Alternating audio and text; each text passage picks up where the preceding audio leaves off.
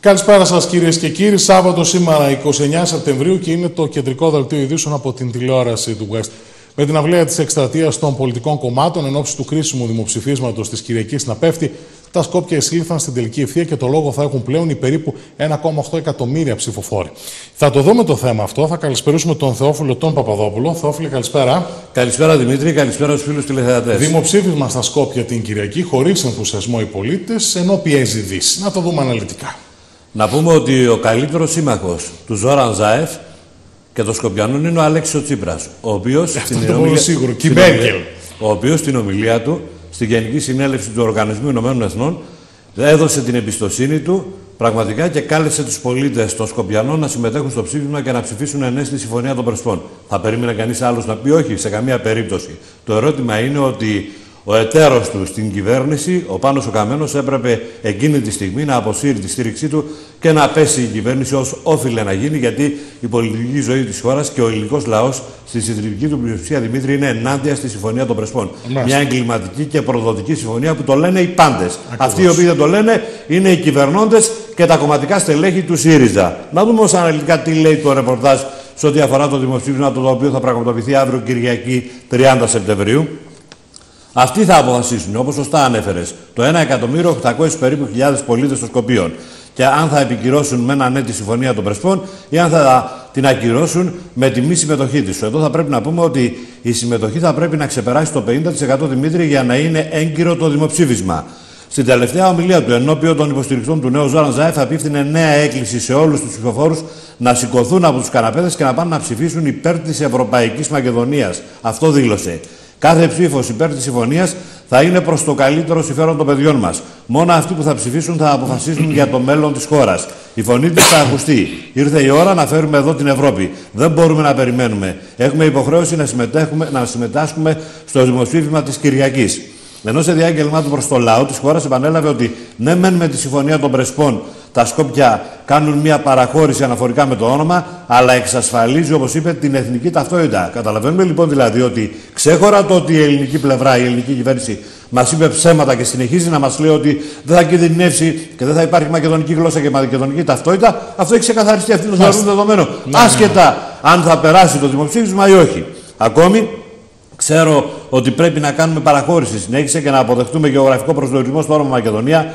Όμως κανείς πλέον δεν μπορεί να αμφισβητήσει την εθνική μας ταυτότητα, ανέφερε ο Ζόραν Ζάεφ, ο Σκοπιανός Πρωθυπουργός. Μα θα δούμε αύριο τι θα γίνει. Υπάρχουν αυτό που είπαμε πάρα πολλές αντιδράσεις και μπορεί να περάσει με 50 και λίγο να είναι μεγαλύτερο ποσοστό ή μπορεί και να μην περάσει και καθόλου το δημόσιο. Δημήτρη, κάποιοι κάνουν λόγο και χρησιμοποιούν πολύ, πολύ μεγάλη. Μπορεί να είναι και στημένο. Ο Μητροπολίτης ε, Φλωρίνης Προσπών και Ορδέ, ο κ. Στόκλητο, θα δούμε και συνέχεια και τη σχετική του παρέμβαση στην τηλεόραση του West, μιλάει ότι μπορεί να είναι και στημένο το, το δημοψήφισμα. Α, ε, κοιτάξτε, δεν είναι, αυτό είναι σίγουρο ότι δεν, ξέρουμε αν πραγματικά τηρηθούν οι κανόνες που ορίζονται μέσα από μια δημοκρατική λειτουργία και αν πραγματικά το αποτέλεσμα είναι αυτό που πρέπει να είναι και δεν αλλοιωθεί. Αυτό βέβαια βάζουμε πολλά ερωτηματικά δίπλα. Δεν μπορούμε να το πούμε με βεβαιότητα. Υποθέσεις κάνουμε, αλλά αυτά θα έρθουν στο φως. Γιατί μην ξεχνάμε ότι ο Σκοπιανός Πρόεδρος, ο Γιώργη Ιβανόφ, ζήτησε από τους πολίτες να μην συμμετέχουν στη διαδικασία του δημοψηφίσματος. Και αν συμμετέχουν να ψηφίσουν όχι. Καταλαβαίνεις λοιπόν ότι εδώ έχουμε αντικρουόμενα τα, την πολιτική ζωή στα Σκόπια. Αν είναι αντικρουόμενη, μένει να δούμε βέβαια τι θα επικρατήσει. Αν επικρατήσει το ναι, αν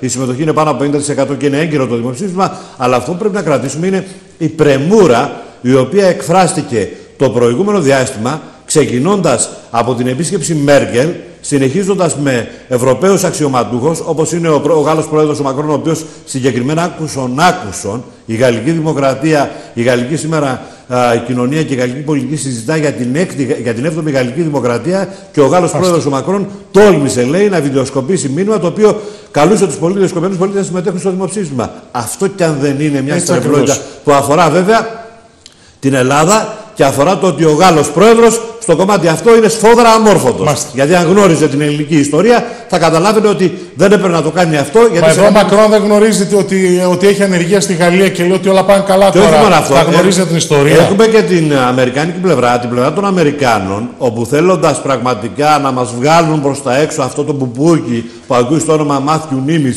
και που είναι προς την Δύση τόσο αφορά την πολιτική Δύση αλλά και τη βιολογική του Δύση, τολμώ να το πω, και ας κάποιοι με κατηγορήσουν, Γιατί τον επαναφέραν μετά από 25 και πλέον έτη για να λύσει και να κάνει αυτή τη συμφωνία. Όλα τα χρόνια ασχολούνται, δεν τον επαναφέραν. Ναι, αλλά τον επαναφέραν. Τώρα συνέχεια, εδώ γιόρτασε μέχρι και τα γενέθλιά του την ημέρα. Συνδύασαν την ημέρα έτσι. Στην πολιτική ζωή και δεν στη διπλωματία υπάρχουν ανανεώσεις οι οποίες έρχονται είναι επανωτές. Ε, ναι. Γιατί το διπλωματικό πεδίο και το διπλωματικό πάζ, το, αυτό το σκάκι που ακούει στο όνομα διπλωματία, διπλωματία είναι πάρα πολύ κρίσιμο και πάρα πολύ δύσκολο. Έρχονται λοιπόν ο Αμερικάνικος παράγοντας και έρχεται καθώ από την πλευρά του και πιέζει μέσα από τις παρεμβάσεις που κάνει και είναι ο ΜΕΣ τους Σκοπιανούς πολίτες να συμμετέχουν στο δημοψήφισμα. Και εγώ ερωτώ, η ελληνική ομογένεια τι κάνει, τι πράττει, γνωρίζοντας οι πάντες ότι είναι πολύ ισχυρή, ότι είχε ξεσηκωθεί. Αλλά θα μου πεις, τι να πράξει η ελληνική ομογένεια, την οποία η κυβέρνηση προσπάθησε μέσα από επικοινωνιακά τρικ να την περιορίσει όσο αφορά τις αντιδράσεις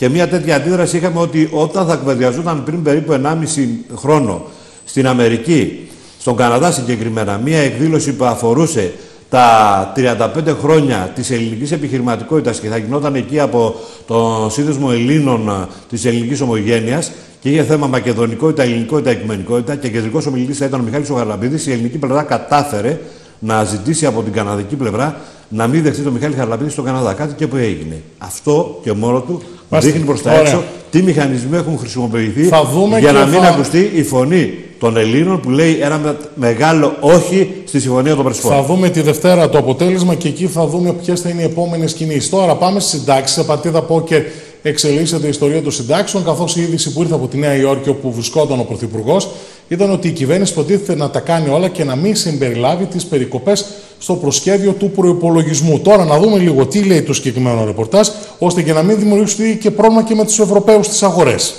Το ρεπορτάζ λέει ότι στην κυβέρνηση έχουν στριμωχθεί στην κυριολεξία. Βρίσκονται αντιμετώπιοι με μια πραγματικότητα. Από τη μία πλευρά έχουμε τους δανειστές αλλά και τους οίκους αξιολόγησης οι οποίοι θέλουν η ελληνική πλευρά να τηρήσει τις υποσχέσεις, αυτά που έχουν υπογραφεί, και από την άλλη πλευρά, η ελληνική κυβέρνηση, βλέποντας ότι τα πράγματα δεν είναι καθόλου καλά για αυτήν, μέσα από τις δημοσκοπήσεις, έξι δημοσκοπήσεις που έχουν γίνει το τελευταίο διάστημα, τη δείχνουν ότι η διαφορά ανάμεσα στη Νέα Δημοκρατία ξεκινά από το 5% και φτάνει μέχρι και το 14%. Και ολοένα αυξάνεται παρά να μειωθεί. Άρα λοιπόν καταλαβαίνουμε η δήλωση του κυρίου Τσίπρα στην ε, Διεθνή Έκθεση Θεσσαλονίκης, στα εγγένεια συγκεκριμένα της ΔΕΘ, ότι δεν θα περικοπούν οι συντάξεις, πρέπει πάση θυσία τουλάχιστον σε αυτό το κομμάτι, σε αυτή την περίοδο, να γίνει πράξη. Και πώς θα γίνει πράξη αυτή; Να μπει στο προσχέδιο του προπολογισμού ή να μην μπει, να κρατηθούν λευκές σελίδες στο προσχέδιο τους, του προπολογισμού. Είναι προσχέδιο εξάλλου και ο καθένας καταλαβαίνει ότι ναι, ναι. θα αλλάξει στο, μέχρι την 21η του Νοέμβρη, όπου θα έχουμε το τελικό σχέδιο του προπολογισμού,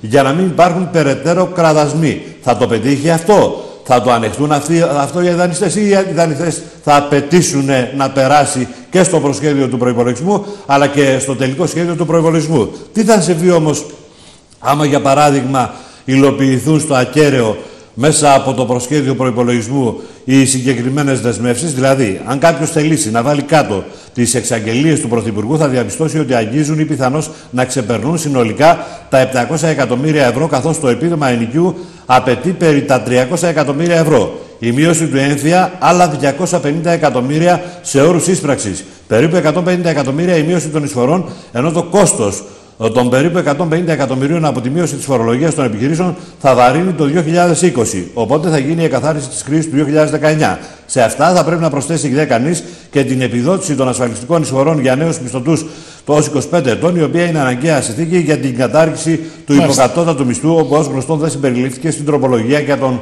κατώτατο μισθό. Καταλαβαίνουμε λοιπόν ότι σύμφωνα με αυτά που έχουν υπογραφεί από την πλευρά της κυβέρνησης, των ΣΥΡΙΖΑ και τον ΑΝΕΛ, κάτι τέτοιο αν θα γίνει, οι δανειστές θα χτυπήσουν κόκκινο στην κυριολεξία. Ναι, ναι, θα απαιτήσουν του Τσίπρα στη ΔΕΘ. Θα απαιτήσουν από την ελληνική κυβέρνηση να τηρήσει και να υλοποιήσει τα συμφωνηθέντα. Στην ελληνική κυβέρνηση βέβαια οι εκτιμήσει είναι ότι 50-50 παίζει να μπουν ή να μην μπουν οι μειώσεις των συντάξεων στο προσχέδιο του προπολογισμού, αλλά όλα αυτά θα ξεκαθαρίσουν στις 21 Νοεμβρίου, όπου θα έχουμε εκεί το τελικό σχέδιο του προπολογισμού και θα περιμένουμε βέβαια τη συνεδρίαση του Eurogroup που θα πραγματοποιηθεί αρχές του Δεκέμβρη, στις του Δεκέμβρη, να δούμε αν πραγματικά οι Ευρωπαίοι θα δώσουν το δώρο αυτό της μη περικοπής των συντάξεων ή θα το ακυρώσουν στην κυβέρνηση των φαίνεται να μην θέλουν να, το δώσουν, να μην θέλουν να το δώσουν γιατί θα βγουν εκτός από αυτά που έχουν συμφωνήσει. Δημήτρη, ανεξάρτητα από το τι θα γίνει, αυτή τη στιγμή υπάρχει μια υποτίμηση του ελληνικού λαού και δει της, της, ε, ε, της μερίδας των συνταξιούχων που γίνεται ένα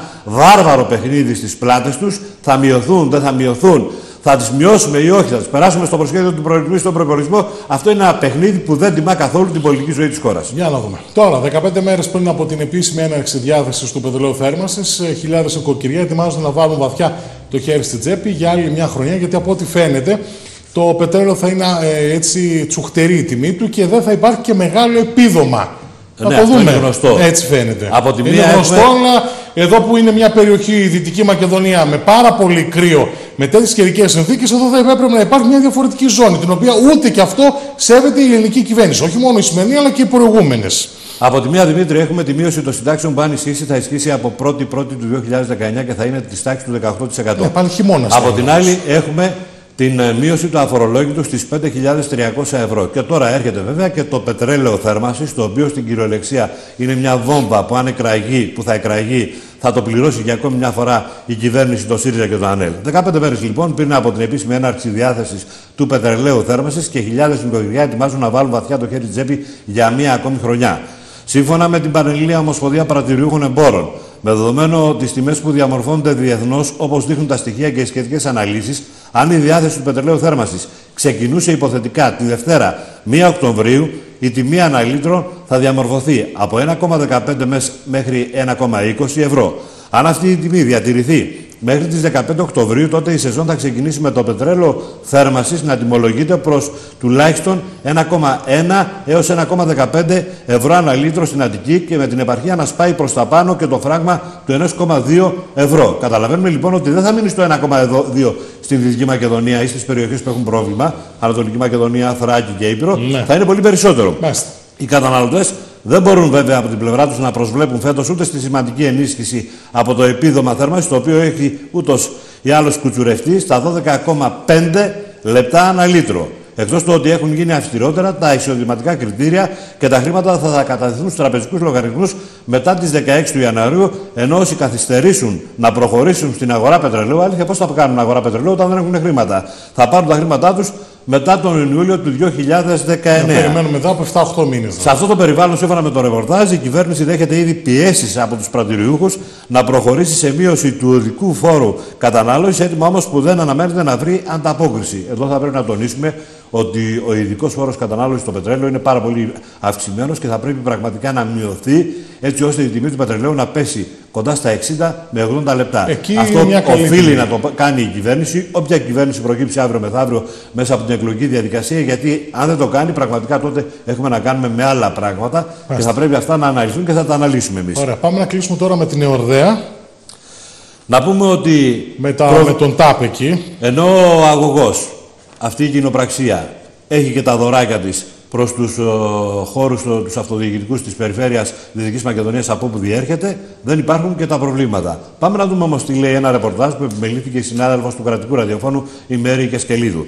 Τρία καινούργια απορριμματιφόρα παραλαμβάνει σύντομα ο Δήμος Εορδέας δωρεάν της εταιρείας του διαδρατικού αγωγού ΤΑΠ στο πλαίσιο της πολιτικής εταιρικής ευθύνης, καλύπτοντας ο απαραίτητος αυτός μηχανολογικός εξοπλισμό ανάγκης του τμήματος καθαριότητας και ανακύκλωσης της Διεύθυνσης Περιβάλλοντος και Ζωής του Δήμου Εορδέας. Κατά τη συζήτηση που πραγματοποιήθηκε την περασμένη εβδομάδα στο Δημοτικό Συμβούλιο του Δήμου Εορδέας σχετικά με τη συγκρότηση Επιτροπής για την παραλαβή του εξοπλισμού, Δημοτικοί Σύμβουλοι και Προέδροι τοπικών κοινοτήτων έβαλαν ευθέως κατά της εν λόγω εταιρείας γιατί δεν τήρησε τις δεσμεύσεις της έναντι των κοινοτήτων από τις οποίες διέρχεται ο αγωγός. Αφορούσαν την απασχόληση τοπικού εργατικού δυναμικού στη διάρκεια της κατασκευής του και την υλοποίηση έργων, αφήνοντας εχμέ και κατά του απόντος από τη συνεδρίαση δημάρχου του κ. Σάβα Ζαμανίδη.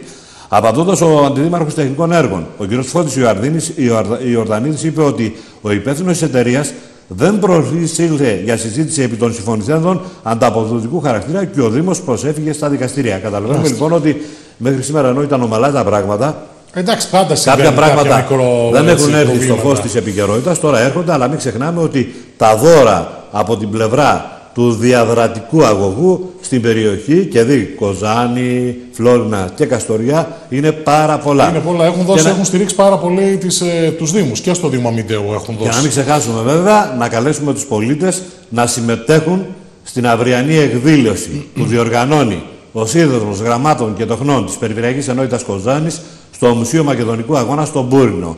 Είναι μια πολύ σημαντική εκδήλωση που θα ξεκινήσει από τις 9 το πρωί και θα κορυφωθεί, κορυφωθεί στις 10 και 30. Όλοι λοιπόν, όσοι μπορούν, πρέπει να δώσουν ένα δυναμικό παρόν. Γιατί μπροστά μας έχουμε δυστυχώς αρνητικές εξελίξεις που πηγάζουν μέσα από την εγκληματική και προγραμματική συμφωνία των Πρεσπών. συνθήκες να έχουμε για να πραγματοποιηθεί η εκδήλωση. Ωραία, Θεόφιλε, καλή συνέχεια.